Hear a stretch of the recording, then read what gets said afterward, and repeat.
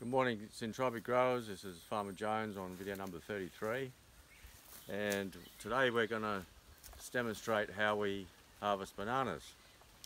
And when is the best timing to pull the banana stem down. So if you look up at that bunch of bananas there, and these are ladyfingers by the way, we can see that the bats and the birds are telling us that this hand is starting to get sweet. So they've had a little chew and they've flown off. But that's telling me or signaling to me that those bananas are ready to come down. So being a lazy farmer and um, a risk adverse farmer, I, I don't like getting up on ladders. And as you know, uh, I like to do things the easy way. So I let the bats and the birds tell me when they're ready. Now some farmers put blue silver bags over the hands to speed up the ripening and that's fair enough if you've got a ladder. But as you can see the forest floor here in our syntropic system isn't quite stable or flat enough to start putting ladders up. So this is the way I've, uh, I go roll and I work with the bats and the birds and they tell me for free. So do we just cut that stem off with our trusty stick and let the bananas drop on the ground? Well, no, because that's a fair height. It's about two metres and you may damage your fruit. How else can we tell that the bananas are ready? They usually get a nice yellow tinge, just starting. They change colour. Secondly, uh, the little bananas are usually fat. The unripes are skinny and the ridges along the seams of the bananas stick out. But clearly the birds are telling me that this is ready to come down. And why would you leave the bananas up there just for the uh, animals to chew even more and damaging the stock that you wish to sell at the markets? So first one or two bananas they chew, that's my indication. So how do we start? We've got a big clump of bananas here. And of course I've been very lazy and I haven't taken down the unnecessary stems for biomass, which I should have done by now. We've actually got too many stems in there. But for today's purpose, we're just going to take down the, the grandma stem and uh, I'll show you a few techniques for getting rid of it. And of course, the number one reason we use bananas in syntropic systems is for the large amount of biomass that they produce. For me, bananas are just a side benefit. But there's more than, you know, 30, 40, maybe 50 kilos of biomass in that stem there. So let's have a go. Now we start by just taking down the leaves and that just makes it easier for you to see what you're doing. So those of you who have watched my previous videos know that my trusty $10 tool here is very valuable. No ladders. And look at those great leaves falling down. And I normally just place them like that to cover the soil.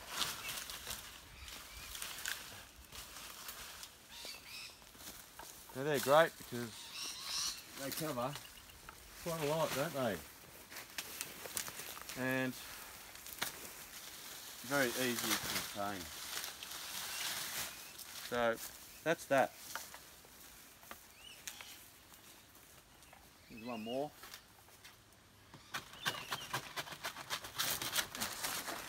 And another one.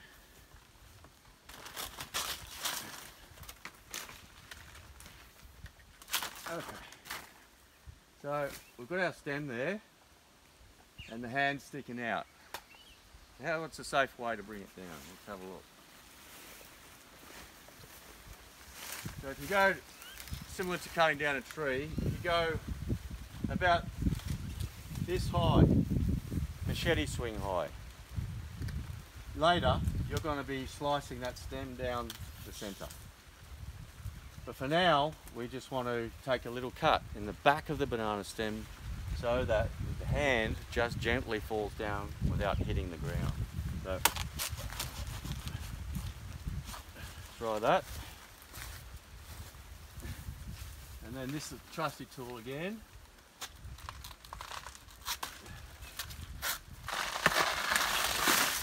And bring it down. Didn't go quite according to plan, but here we go. Thankfully our bananas are not damaged. Now notice I've cut that bell off. Once the flower stops spinning baby bananas off, cut the bell off once the stem extends a couple of inches, just a couple of inches past the hand. And that'll stop wasting energy into the bell, or the flower, and put that energy into fattening up these guys.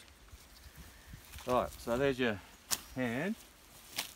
And here we have some beautiful stem ready to dice up. So at this stage, we want to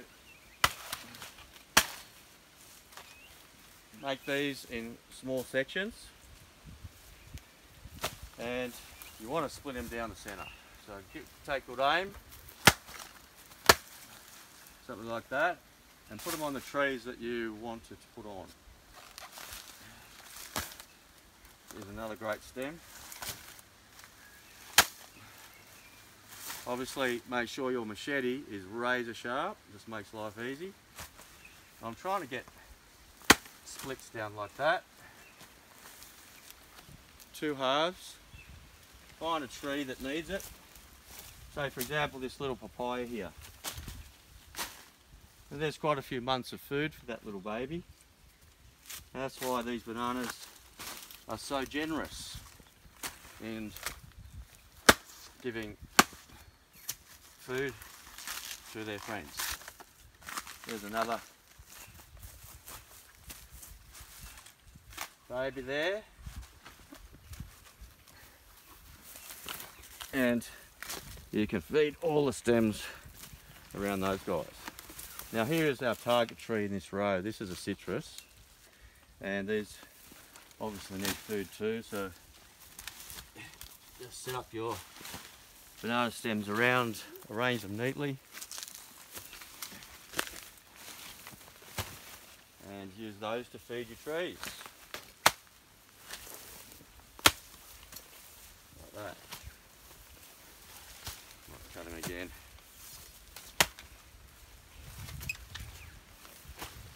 Put that way, wherever you like. So this is really great food and why? Because if you notice in the bottom of the banana, it's full of water. Some of these stems can carry up to 80 litres of water and they're literally the water tank of your, of your forestry system. So a few months that'll break down, it's full of ca calcium, potassium, phosphorus, all the good things that our other friends need. So we have to finish the stem.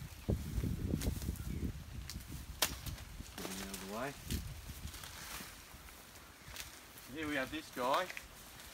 We don't really want to leave him in there. So we need to split him down the centre and take him out. I'll move that just so for the film sake. That has to be split down there. So if you take careful aim, and that's a good shot, then you can just take those guys out like that.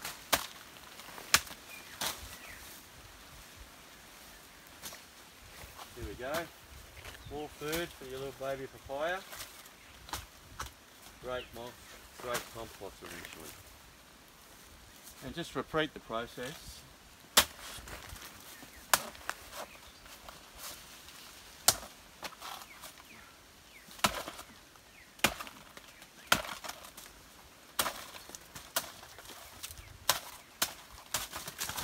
Like that. There's one little there, you can use a bit of a feed.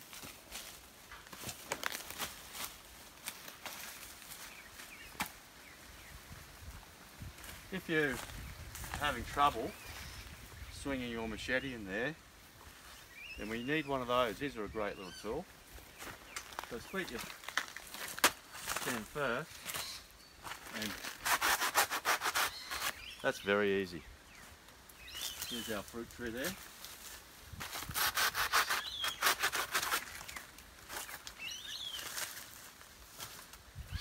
Uh, again,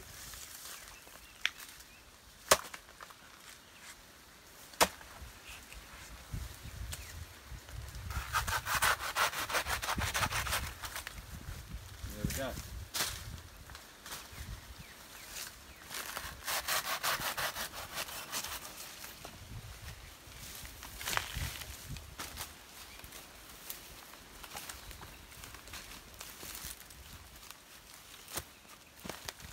Look at all that beautiful plant food for this um, Tahitian lime here. It's going to last a while, isn't it? So, this base stem here, we should really try to take it out, A, because you're using the biomass, but B, because it's possible for it to grow back, and you don't want that. That will sap the energy to all the other up and comings, and that stem will no, not produce again.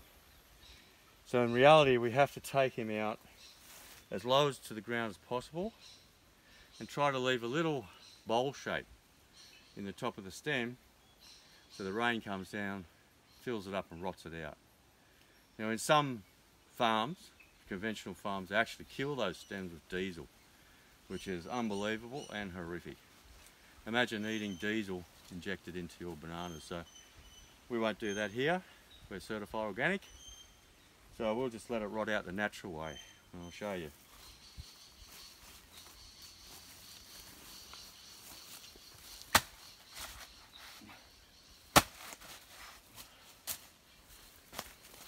So our trusty saw again.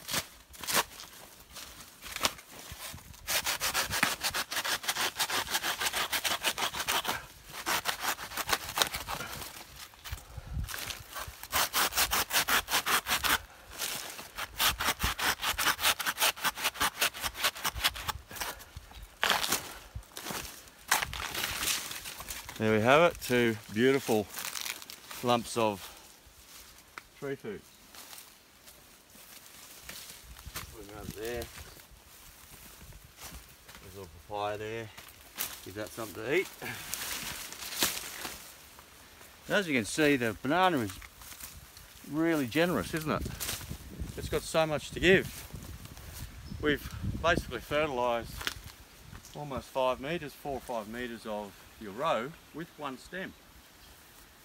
So just to finish the job off, just make sure you uh, just concave that a little bit.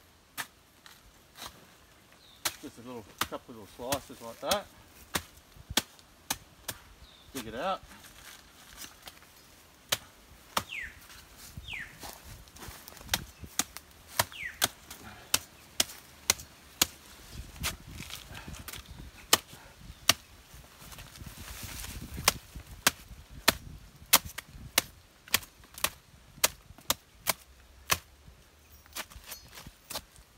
That should do it. The water will collect in there when it rains and just rot that stem out and that's exactly what you want. So in reality we've also got still too many stems here so you would pick your uh, successional three and maybe that one and maybe you'd keep a that's grandma, that'll be mum, and you'd look around for one of the little pups coming up, and that's three, and the rest really should come out. Uh, and just use them as biomass. These are too big to dig up and plant, so really they're a fantastic resource in your syntropic system. So that's how we manage bananas, ladies and gentlemen. I hope that's useful. Um, there's many other theories around bananas. Uh, in Brazil, they do things differently. They don't plant pups, they plant the corm and they cut it and turn it upside down, and they think that growing up into a curve anchors the banana better. I'm sure it does. maybe they're a country that's subject to a lot of cyclonic weather. But here it's not so much of an issue uh, here at our farm. And so far we've had no bananas falling over. We did experiment with the Brazilian method but found it put the production of the banana back by one year. So while other stems were already flowering and fruiting, uh, the Brazilian method was still here. So do a bit of research on the Brazilian method of planting uh, banana corms, but for us it's not for us. We need bananas quick for our markets, um, and we don't have those high wind problems here at our Central Queensland farm. So hopefully that's useful to you. If you've got any other tips and thoughts you'd like to, uh, and ideas you'd like to suggest on the channel, just leave a comment I'm very open to learning new things. And uh, that'll be over and out for Fig Tree Organic Farm. See you on the next video.